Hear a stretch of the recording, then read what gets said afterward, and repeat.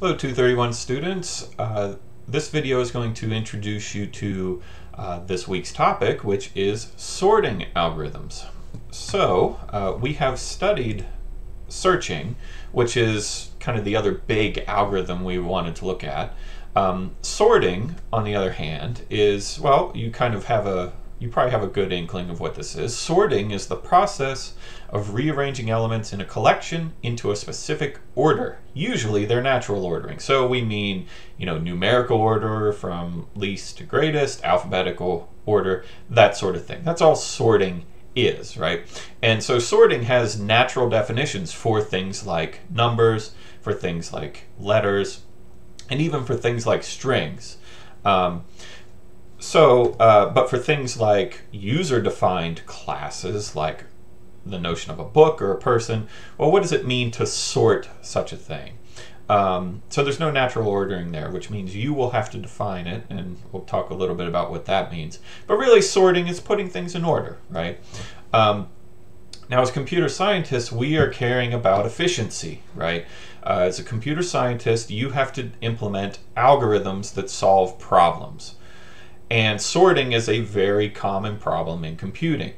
Now, we care when we talk about efficiency, what are we talking about? We are talking about the big O, the big O of n, the big O of n squared, whatever it happens to be. And of course, as always, we want things to be as efficient as possible.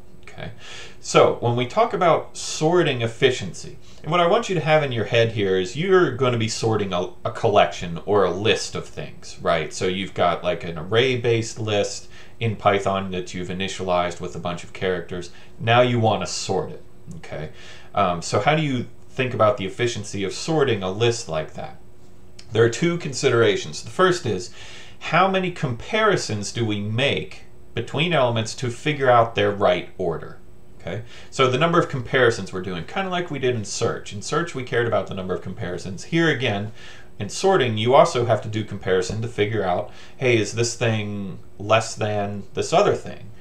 Um, the second thing you care about is the number of movements you make to rearrange the elements in a collection. Okay, so not only do we compare, we have to move things around. Maybe they get swapped, maybe we put things to the end of the list. How we do the movement and how we do the comparison determines the efficiency of sorting. Okay, so Python, as you may know, already provides you with two kind of baked in sorting methods. The first is sorting a list, and then the second is the, the built-in function of sorted. Um, so let, why don't you fire up PyCharm and just run these uh, so that you can see what it does. Um, the slides are posted, so you can go to the slide and just kind of grab the code. And why don't you do that, and in the meantime, I'm going to grab the code and swap over and get started. But I'd like you to follow along with me as well in your own code. Alright, so I'm going to grab this code, come over here to PyCharm. You can see I already have it pasted in here. Let's make this a little bigger so you all can see it. Okay, so there are two sorting algorithms uh, kind of baked into PyCharm, not algorithms, sorting implementations. Uh, the first is we've got a list, right? And if you look at this list, it is not in any sort of order. And then we call list dot or our variable x dot sort. Okay, so you'll notice we're not capturing a return value here. We are just calling x dot sort. So what do you expect to see here? Well, I would expect to see that sort, uh, this call, let me go ahead and run it, it does sort it. And this sort is called an in-place sort. In-place sort, right? So the value of x is rearranged. It is changed around. And so after this call, assuming the sorting is successful, x will be in order, right? Um, so the other option is this sorted function. Okay, so I've got my same list here. I've put it in a y variable now. And I'm saying z gets sorted y. Okay, so this is not an in-place sort.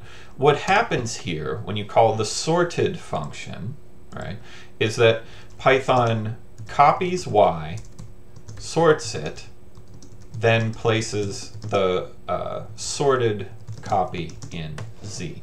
Okay, so this is beneficial because y now will retain its original order, whereas z will be sorted.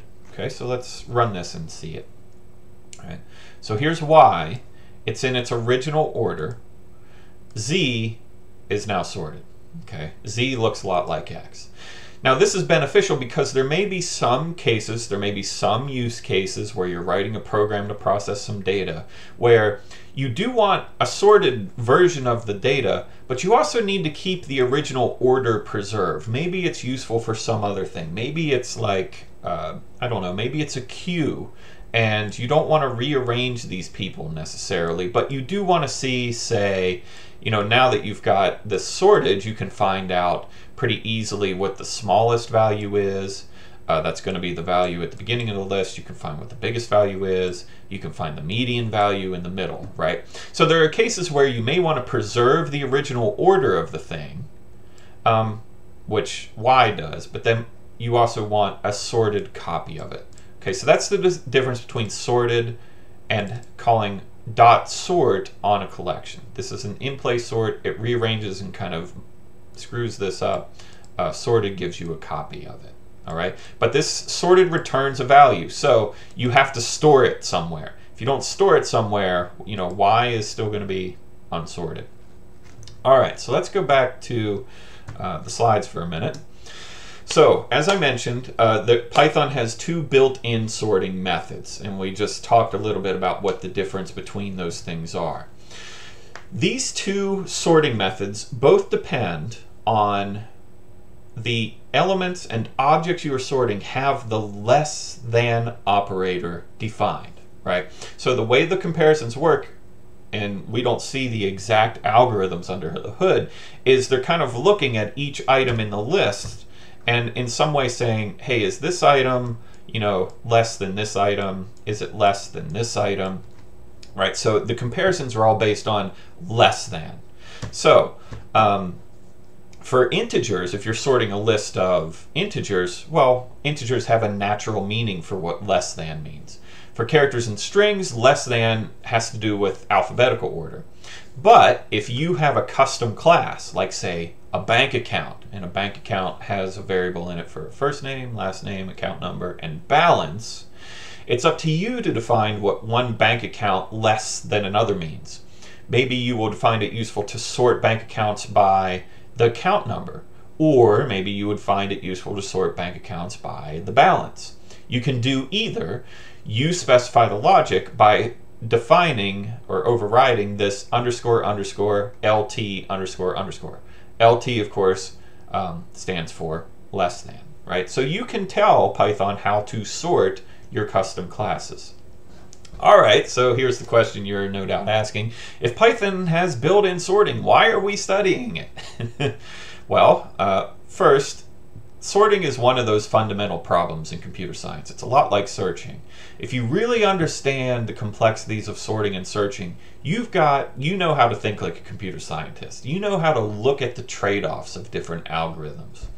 Uh, the other reason is that there are many different sorting algorithms out there, and they are different for different scenarios. And we're going to talk about some of some of that. Okay. Um, some sorting algorithms are faster than others. They've got better time complexity. You know, some are big O of n log n, some are uh, big O of n squared, some are big O of n, depending on the data type. Uh, some sorting algorithms use more memory than others, right? So you may have a fast algorithm, but it takes extra memory in order to be fast. And so if you have enormous data sets like gigabytes or terabytes, um, memory inefficient algorithms are not appropriate. And then also you may need to sort things in a fixed memory environment, like an embedded system or a little tiny device like your refrigerator. Um, so there's lots of different sorting algorithms. We're going to expose you to some in this course. Uh, the ones that we will talk about this week, and I'll have a different video for each one of these so you can kind of look at them piecemeal. Uh, bubble sort, selection sort, insertion sort. Um, merge sort, and quick sort. So we'll take a look at all of these in future videos. And your goal here, your goal in this kind of module is just understand how these algorithms work. What's their basic principle? And then you also want to know what's their time complexity, what's their big O, are they what we call a stable sort, and we'll introduce that concept when we get to it. Are they an in place sort? In other words, can they just work in the memory that's allocated to the list, or do they need extra space, right?